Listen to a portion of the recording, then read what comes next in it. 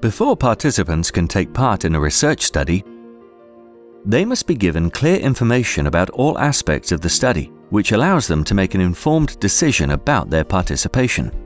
This should include information about any data or tissue samples you plan to collect, how this information will be transferred, and how it will be reported,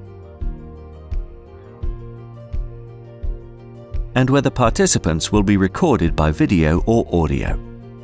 In order to get informed consent, this information should be provided in a way that's appropriate to the audience. And individuals must be given enough time to decide if they want to participate. Where there are multiple elements of a study, consent should be discussed and reaffirmed at each stage. Finally, make sure it's clear that participation is voluntary and participants may withdraw from the study at any time without it impacting their medical care.